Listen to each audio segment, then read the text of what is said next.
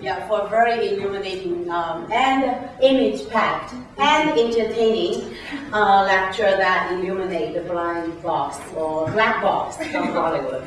Um, so we have about um, 15 to 20 minutes for questions, and I will ask you to uh, go to the microphone there and identify yourself and uh, or comments. Or comments, yeah. Okay. My name is Doris Baltusha, and I read in the New York Times Magazine that um, Hollywood is thinking about the simultaneous release. I was wondering if you could comment on that. So rather than um, releasing a film and then a DVD three months later, there's been talk about doing everything all at once, like releasing the film, the DVD, the VHS, and, and the video games as well. Yeah, I, it, it, remains to be seen if they're really serious about that because one market leads to the other market leads to the other market leads to the other market. One of the things that they've done, they have done though, you'll note that now they are releasing films internationally at the same time. They used to hesitate, wait for what, you know, six months or even more. Now they're releasing it all over the world at the same time because piracy. Right to avoid pirates. So that certainly happened, but I'm not so sure that, um, at least in the near future, that they would move to simultaneous release in all those markets, because then that undermines the market and the structure that serves them very well, I think it could have been in response to, to the low box office revenues this year that sort of the thinking went, okay, how can we generate as much money as possible, you know, on this small yeah, yeah. I would still say though, again, even though the box office last year was you know, slightly low, that, and maybe the uh, home video was mm, not as large as they wanted it to be, still they're doing very well because of all of the other markets. Mean, they're doing okay. Hi, my name is Jennifer Gauthier, and um, since you brought this topic up in your talk and you uh, mentioned it also in how Hollywood works, I just wanted to ask you a question about research and um, you know some tips that you have for other scholars who are working on these um, topics, and um, also for you as a scholar, has it gotten easier or harder to get this research the more notorious you've gotten for your work? You had problems with getting the, oh, or is it right, easier? I think that yeah. Um, no, it's as many of you who do research in, in the room know that it is somewhat difficult to find good, hard facts, data, reliable information on Hollywood. But you know, it's you have to dig, and there's a, a, there are sources that come from the industry. You just have to treat them very carefully. Um, I think also there's a there's there are sources that are untapped that we, we could really be using, um, like archives, and some of the studios actually have uh, donated papers to libraries, to other kinds of archives where. Uh, you know, maybe historical work to some extent, but still there are um, there are primary documents that are out there that are, I think, just waiting to be uh, uh, analyzed uh, that provide us with some really interesting uh, insights into uh, production, distribution, and so forth. It's some of it is very tedious work, though, and it's especially the economic stuff that you know is it's not that exciting, but it, it still is is so important. Uh, in other words, I think that, that we still need to be looking around to see what sources are there.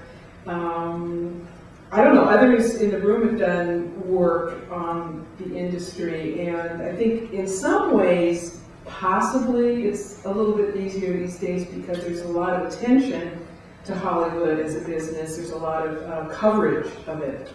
Uh, but then again, a lot of the coverage is like this, which is, you know, fluff and promotion and so forth. Uh, but still, uh, you know, there are sources that can be found. Um, I don't know if that answered your question. I think study history is the answer. That's kind of the stage. Thank you for your presentation, Janet. My name is David Newman. Um, I was wondering if you could comment a bit more on how the studios actually mitigate the risk at the investment end. You talked about the various revenues, but you know, King Kong, for instance, had um, New Zealand government money in there with a large budget um, production grant. Peter Jackson put in some money himself. I'm not sure if you know at all about what, if there are any other financial structures that they use to actually reduce the amount of upfront investment that they needed to make. Yeah, if I understood you, for some reason, I'm, I'm not hearing that microphone very well, but your question was about uh, where production financing is The, coming the, from? the, uh, the investing, so that the studios aren't actually doing the Right. upfront money, it's Right, other right, investors right. actually take that risk. Yeah. Uh, what I tried to outline were the various kinds of deals that represent, in some ways, uh, the type of funding. So there are the in-house productions that the, the majors do put money into. Uh, the, the, then there are the production companies that are somewhat related to the distribution companies. Sometimes they get a little bit of money, but they get money in lots of different places, including some of these equity deals that I mentioned. And that's, uh, it's, it's big in, in Hollywood, especially now. It seems that they're getting money from these various funds, hedge funds, and other kinds of um, arrangements. Um, there are still arrangements they have with commercial banks. Um, although you can't really get a loan based on a film, you could certainly get funds if you have some other kind of collateral. Um, and then there are also, uh, as represented by the hedge fund folks who put money into a fund, uh, they're independent or, or individual investors that always uh, are excited about investing in a Hollywood film. The other thing is people in Hollywood do make a lot of money sometimes and put it back into film. All right, Peter Jackson investing money that he's made back into his own film. Right? Uh, so it comes from, again, a variety of sources. Maybe if I can just follow on, Germany has been, until very recently, a major investor. About 20% of Hollywood budgets have actually come from German media funds. That has um, stopped. Do you think that's going to make any real difference in, to Hollywood? It comes and it goes. Uh, for a while, the German television companies would almost automatically provide some funds if you arrange to have your film ultimately on, on one of those networks. So there'd be uh, those kinds of um, pre-distribution deals that were made. And so they come and they go, you know. Um, that will disappear, somebody else will come up that'll replace it. So I, I don't know specifically how much right now that's going to financing.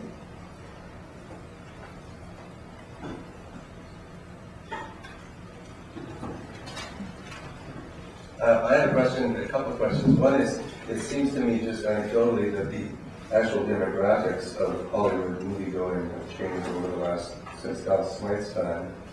I wonder if you have any comments on that. And secondly, you present Hollywood as a fairly monolithic entity, and indeed, of course, it is. But I'm also thinking if the ratio between the Hollywood penetration of the domestic North American market in relationship to the foreign films or the independent films has shifted in those 20 odd years since Dallas's work. Because it seems to me that it has with the mini theaters and all this kind of stuff. So I'm just wondering if you have any thoughts on those two issues. I guess since um, Dallas gave that talk, when was it, in 80? 80, we just were starting to get uh, video. And I think that's had a huge impact uh, on things that, you know, um, that probably couldn't have been foreseen at the time. Um, the audience is probable, some of you might need to help me here, that the, the youth audience started to become more important around that time, and certainly has become more and more important. Um, and let's see, um, parts of your question, I can't remember. But the other part was the, the ratio between the Hollywood Ah, yeah, market yeah. versus independence and foreign films. Yeah, uh, and there's always been this problem of foreign films getting into the U.S. market, and I, um, it, it, It's a very interesting question of how that happens, why that happens. Um, there are a lot of excuses given that, oh, U.S. audiences aren't interested in foreign films and won't see them, but do they, can they even get into U.S. markets, the U.S. market? Well, And especially since Canadian films themselves are probably considered foreign films in that context. Yeah, in, in that sense they are, even though the Canadian market is part of Yeah, the US, right? So That's the irony. Right, right, right. But you might say that certainly video has helped with the distribution of independent and, and foreign films. And of course, it's not impossible. In fact, it's often the case that um, foreign films will do very, very well and be distributed in, in theaters.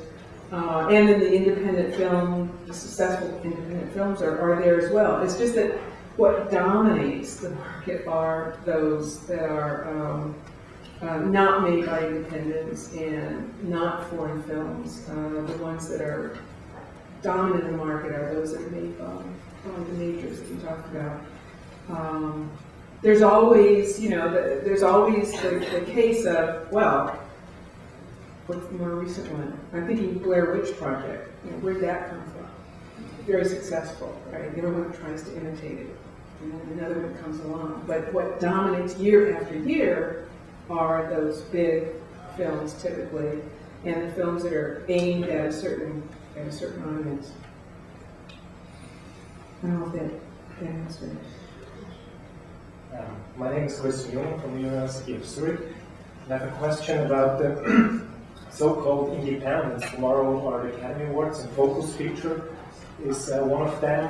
And when I flew in, I read an article in USA Today praising this new company, which I think belongs to Universal. Um, how independent are those so-called independents? Yeah, yeah, yeah, exactly. If they're owned one of the major companies, I would say they're not independent. Um, certainly, there are some really truly independent films, and actually, one of the major films, isn't it, by Lionsgate, has been nominated for Best Film, and Lionsgate truly is an independent. Um, so, you know, there you have it. Uh, but one certainly needs to be careful to look at some of the, the labels that are, are now, um, uh, most of the studios have uh, labels that are called independent, but actually they're part of the larger company. Uh, so they're dependent independents, I suppose.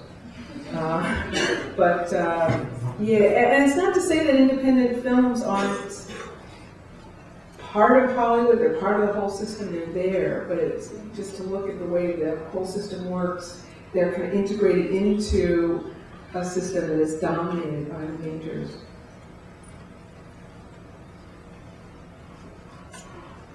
I, I also should apologize about being so gloomy, gloom and doom, you know, it's all impossible. Uh, it's not necessarily the case that these companies can continue, maybe things can change. I should have some hope. In that context, actually, I have a, uh, um, maybe your comment, in the context of globalization. And so Hollywood's profitability in, for example, um, uh, in the case of, uh, recently, um, for example, Hollywood has incorporated more foreign productions, like the Chinese film Hero.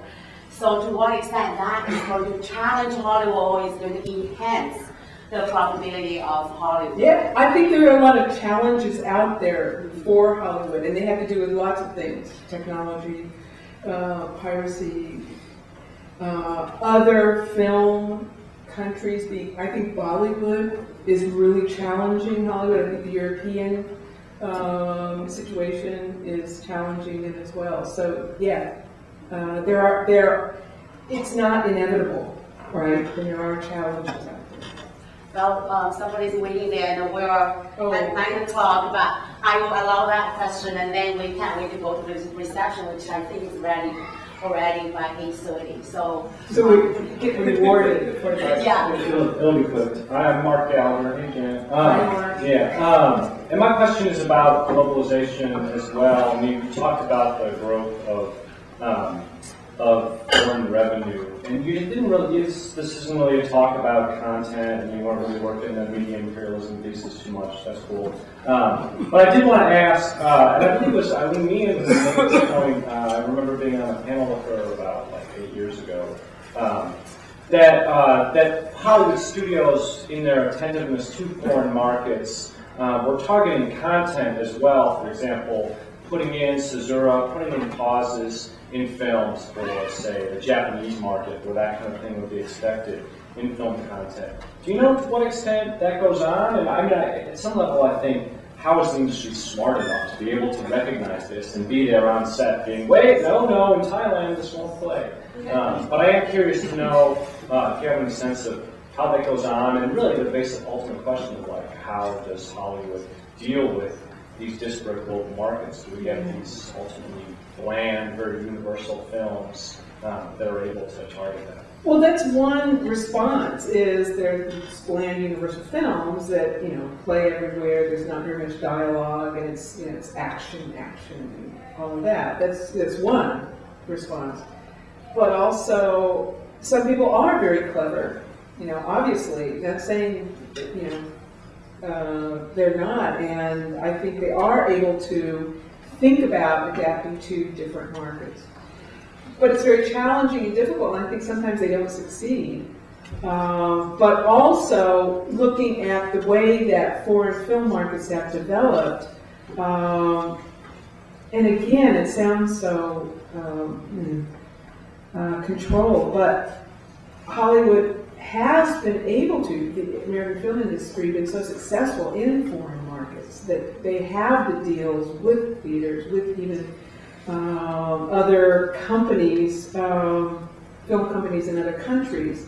They historically have been able to dominate those markets to where American films are playing in it. And, and they may not be as sensitive. In fact, probably a lot of times they aren't sensitive to individual cultures. Is that Makes sense. But then there's also the possibility of making certain changes when it comes into a country. I don't know, I don't think I'm doing a very good job at all of answering this, but I think it's a really interesting and important issue. I wish someone would study this about the way that films are being adapted for, for international markets. And I think there's, there's different techniques and strategies being used. Hi, my name is Senator Tui of Infinite Entertainment. The way I understand it is they actually shoot the restricted stuff for the foreign markets like Japan and whatnot and have higher levels of violence, and then actually edit it out for certain markets. Sometimes. Thank you very much, and uh, please join me again in thanks and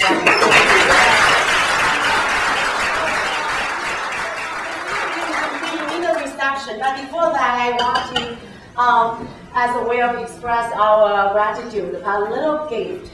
Actually, um, three CDs, uh, two of the Hollywood lectures of Dallas Smythe, plus uh, another kind of excerpts of lectures by our SFU uh, previous colleagues or existing ones, including um, Bill Lees and many others. And it's made by Barry, and actually it's really, I, I feel, you know, it's like haze skate for you, and then a little really on the river.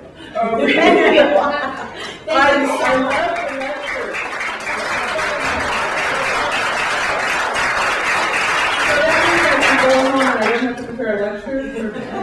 yes, and, and if you would like to buy it, we have 20 of them. Oh, okay.